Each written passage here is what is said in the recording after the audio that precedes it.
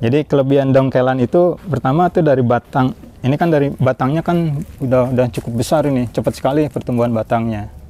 Ini kan dari sini kan kelihatan nih bagus nih. Jadi kalau dimasukkan ke dalam pot itu jadi lebih artis artistiknya dapat gitu. Beda dengan kalau misalnya dari ditanam langsung di pot gitu kan paling batang batang utamanya kurang kurang besar gitu. Ini kan lama ya om ya, lama untuk membesarkan. Iya untuk ya? ya untuk membesarkannya lama. Ini perlu waktu. Paling enggak kan ini sudah umurnya setahunan ini. Bismillahirrahmanirrahim. Assalamualaikum Om Andi. Ya, waalaikumsalam warahmatullahi. Alhamdulillah nih Ya. kita ke sini lagi nih. Iya, Lunas alhamdulillah. ya. Sepertinya ada yang baru nih. Iya, ini ada GH baru nih untuk untuk tabel lampot, tapi juga Oh. bisa juga untuk nanti untuk eh, rambatan anggur. Boleh dong di review Om. Siapa tahu ada kawan Flornasia yang mau bikin GH ya. Siap. Ada referensi dari Om Andi. Ya, ya baik. Eh, jadi pada prinsipnya kalau untuk GH itu bahannya kan bisa dari baja ringan, bisa dari bambu atau dari besi hollow. Nah dalam hal ini eh, di Sawarga ini saya buat dari baja ringan nih seperti ini.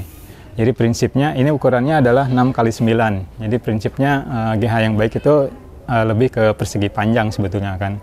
Jadi diusahakan panjang ukurannya sih bisa bisa bebas bisa berapa aja. Yang terpenting adalah eh, kalau misalnya kita ingin membuat rambatan, jadi tinggi dari sini ke sini itu sekitar 2 meteran.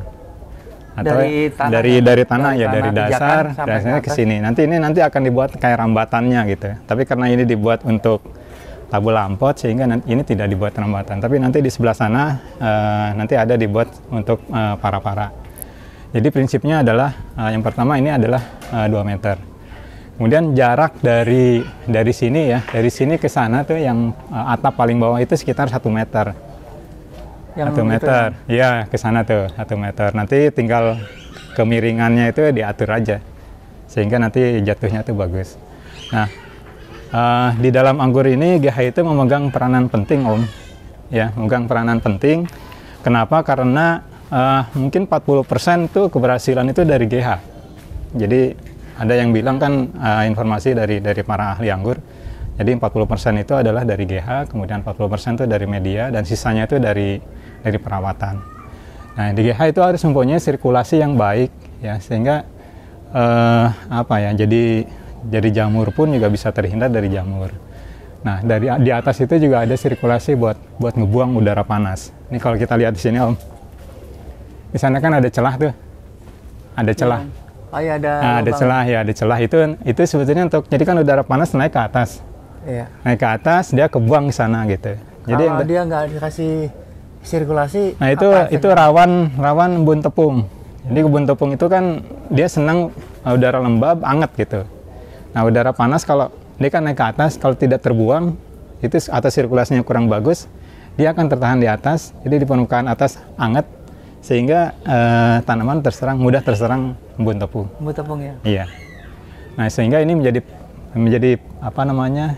parameter penting dalam keberhasilan budidaya anggur. Di kayak gini nih. Jadi ini luasa seperti ini. Jadi ini kondisi di sini pun tidak tidak panas gitu.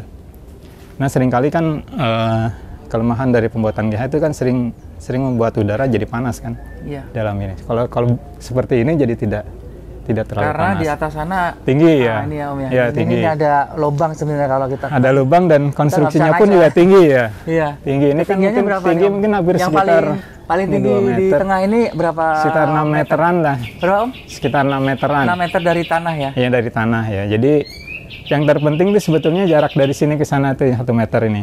Nanti kalau kemiringan sih ngikutin aja, ngikutin aja. Nanti kalau misalnya nanti untuk dibuat para-para di sini nanti bisa dibuat dibuat ini ya, rambatannya. Jadi tingginya 2 meter cukup lah. Atau sebenarnya kan tinggi tinggi perawat ditambah 30 cm sebetulnya standarnya tuh. Jadi tapi kalau umumnya kan tinggi orang Indonesia kan sekitar 165, 170 ya. Sehingga ya kurang lebih 2 meteran. Iya. Om ini pot-pot putih ini apa? Ini apa rencananya? ini buat eh, buat tabu lampot ya dengan nanti rencananya mau menggunakan sistem hidroponik. Eh, jadi ukurannya memang ini kecil ini ukuran potnya tuh yang 35 mili. Memang sengaja ya Om? Ya memang sengaja kecil. Kemudian nanti kita saya akan menggunakan media media sekam bakar ditambah uh, kokopit. Nanti nanti rutin eh, penyiraman dengan menggunakan abemik. Ini di baut ya Om? Ya ini dibaut ini. Jadi eh, ini dibaut seperti ini. Ya, jadi ini tinggi ini adalah satu meter nih om.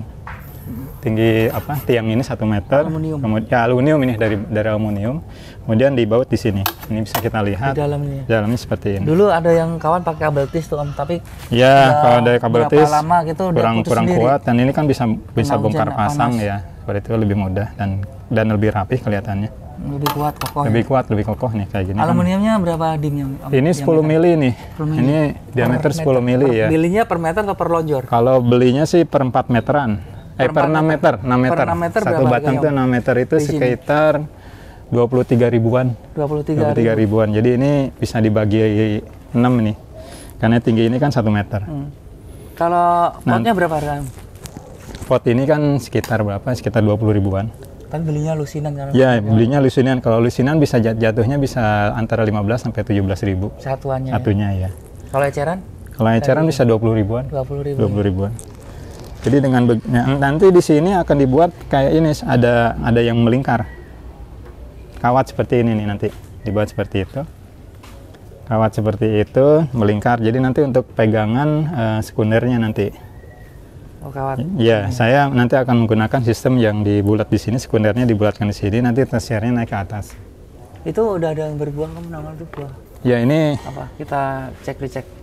Ini heliodor. Ini di pot 25-an ya. Ya ini 25 nih, pot 25. Sudah ada buah. Sudah ada buah, pot. betul. Ini jenis heliodor. Ya, nah, jadi si sekundernya dililitkan ke sini nih. Di, ada pegangannya seperti ini nih. Ini sih sebenarnya bisa dari dari aluminium atau dari kawat biasa juga bisa yang dililitkan. Nanti saya kalau untuk produksi massal saya mungkin akan menggunakan kawat aja om. Karena lebih Ya lebih praktis aja sih, praktis dan tidak terlalu tebal. Ini kan tebal nih. Ini kan Karena fungsinya ini kecil untuk ya, kecuali ya kecil betul. potnya gede ya. Potnya besar ya baru Mungkin baru ini bagus. monopang. Jadi ini supaya supaya nanti ini supaya tidak terlalu dominan. Jadi kalau pakai kawat kan tipis kan nggak terlalu kelihatan gitu. Kan hanya untuk dudukan si sekundernya aja. Jadi nanti bisa banyak cara sih sebetulnya kalau untuk sistem di tabulang pot itu bisa misalnya dari ini dikeataskan dipangkas kemudian nanti kan ada dari terubusan itu muncul buah-buah kan seperti itu nanti ditalikan di sini bisa. Atau si sekundernya dililitkan kayak kayak gini kan ini sekunder dililitkan di sini.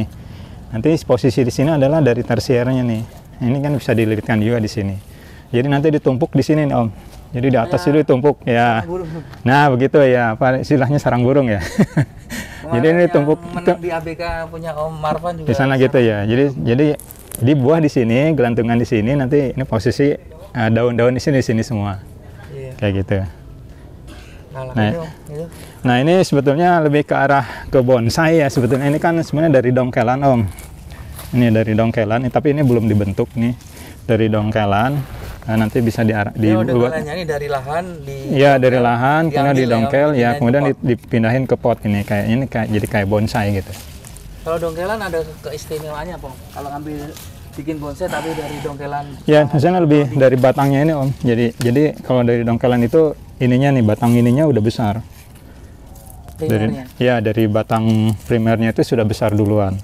Ini juga kayak seperti ini kan juga banyak nih. Ini bahan-bahannya nih. Oh ini Ya dongkelan ini semua? bahan dongkelan semua nih dari bahan. Ini kan kalau kalau dibuat pot seperti ini kan jadi bagus nih. Ini kan nih. Ini kan bahan bahannya itu kan bahannya kan ini nih. Kalau di di ya kalau dibuat pot nanti tinggal ini tinggal disusunin aja nanti tuh tinggal pakai kawat. Ini belum belum di- ini ma- masih diliarkan. Nanti kalau disusun itu akan akan bagus nih. Jadi ininya artistik gitu udah udah kelihatan. Oh, Jadi batang Dongkelan ini dari mana? Ini dari gua dari dari teman yang apa? Beli? Enggak sih ini dari teman yang kebetulan dia mau rubah ke tanaman lain Oh gitu. sehingga dia sudah di didongkel dititip di sini disimpan di sini disuruh dirawat. Nah, dongkel supaya nggak mati gimana? Gam- Caranya, ada- kalau ada a- teknik. kalau anggur sih biasa aja ya di eh, digali dulu dibuat eh, di pinggir-pinggirannya tuh di- digali ya akarnya dipotong yang yang ke kanan ke kirinya tuh sekitaran itu dipotong tinggal udah tinggal diangkat aja. Itu Nggak bisa bisa tumbuh. sebulan dulu di nah nanti nanti di ditaruh di di tempat yang teredup dulu nih seperti itu tuh. Yang itu kan dongkelan juga tuh. Ini dongkelan semua.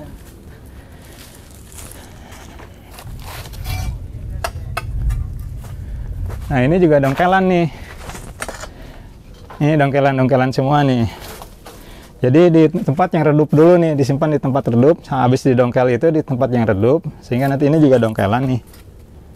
Dongkelan. Di tempat yang redup dulu sehingga sampai sampai betul-betul akarnya tumbuh bagus, sempurna. Kemudian juga ini terubusannya juga mulai muncul, baru nanti kita pindahkan ke ke apa ke tempat yang kena matahari. Jadi ini juga ini baru berapa minggu ya? sama om. Dongkelan ini tempat ini dari sini nih, dari ya dari sini dari nih. internal ya. Dari dari sini nih.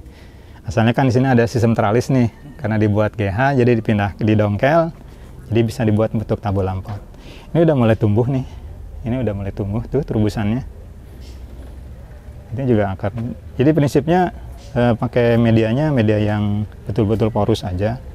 Jadi Apa bisa tuh? menggunakan jadi dominan sekam bakar. Sekam bakar. Ya, dominan sekam bakar. Terus nanti jangan terlalu basah. Oh. Jangan terlalu basah dan ini lebih sering-sering disemprot. Spray. ya. Tiap hari di spray aja terus spray. Kalau ada POC bagus pakai POC. Jadi nanti akan muncul tuh kayak gini nih, cepet. Tuh itu juga pada udah pada muncul berarti kan udah sehat. Iya.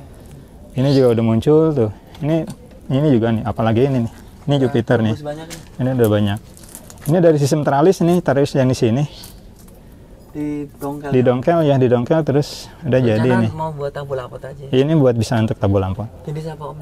Ini Jupiter. Oh Jupiter. Jupiter ini itu apa ya? Ini Angelica nih. Ditaruh di media, media jangan terlalu basah, ya se- sekedarnya saja dan disimpan di tempat yang ini nih, Teduh ya. yang betul-betul teduh gitu. Tiap hari disemprot aja ininya pakai POC. Udah nanti insya Allah sih tumbuh. Dan jangan terlalu basah nih siramnya seperlunya aja. Ini kan kayak ini juga cenderung keringan tuh. Jadi basahnya di bawah. Jadi kelebihan dongkelan itu pertama tuh dari batang. Ini kan dari batangnya kan udah udah cukup besar ini, cepat sekali pertumbuhan batangnya. Ini kan dari sini kan kelihatan nih bagus nih. Jadi kalau dimasukkan ke dalam pot itu jadi lebih artis artistiknya dapat gitu. Beda dengan kalau misalnya dari ditanam langsung di pot gitu kan paling batang batang utamanya kurang kurang besar gitu. Ini kan Lama ya om ya. Lama untuk membesarkan. Iya lama untuk ya? ya untuk membesarkannya lama ini perlu waktu paling enggak kan ini sudah umurnya setahunan ini ini setahunan di dongkel kemudian nanti di dibuat untuk tabul lampot. Kalau pohon dongkelan ini lebih cepat berbuah kalau disambung. Iya bisa bisa lebih cepat ya. Ini ini nggak perlu di Nggak perlu disambung disambung lagi karena ini kan sudah impor ini Sudah- impor sudah ya. Ini kan ya? ya ini ada ri- eh, sudah sudah ini rizamat nih. Ini jenis yang India nih. Cuman lupa saya nama nama itunya nama variannya. Ini sudah sambungan nih Om. Ini sudah sambungan semua. Ini sudah impor semua nih. Jadi ini nanti tinggal disusun aja. Kalau misalnya nanti mau pakai pot yang besar, ini tinggal nanti di, di dilingkarin aja. Ini udah ini udah jadi tersi, eh, udah jadi sekunder, nantinya, iya. Udah jadi ngebentuk sekunder. Cuma kelebihannya batang ininya kan jadi bag- bagus besar. gitu. Jadi lebih artistik gitu ya. Lihat di sininya tuh. Ini kayak gini juga. Dibikin bonsai juga bagus nih kayak gini kan. Ini tadi om. Iya. Jadi bisa macam-macam sih. Jadi kalau bonsai jangan terlalu besar potnya.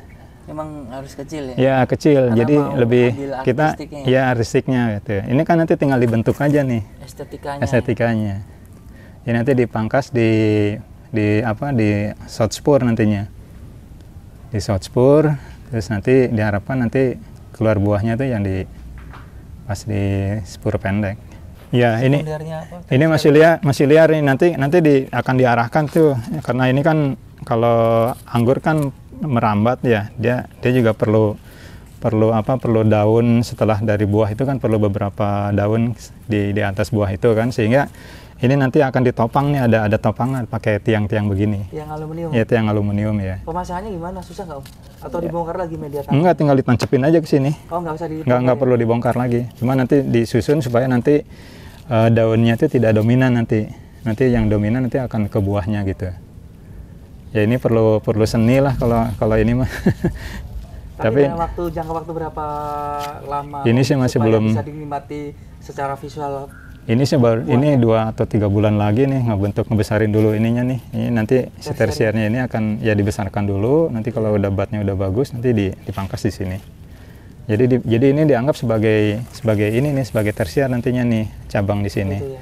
Ya nanti pangkas di sini nanti diharapkan di sini keluar buah nih ini juga nih kalau udah besar nanti diharapkan keluar buah di sini jadi nanti buahnya ada gelantungan di sini Tapi nanti sistemnya ring ya om.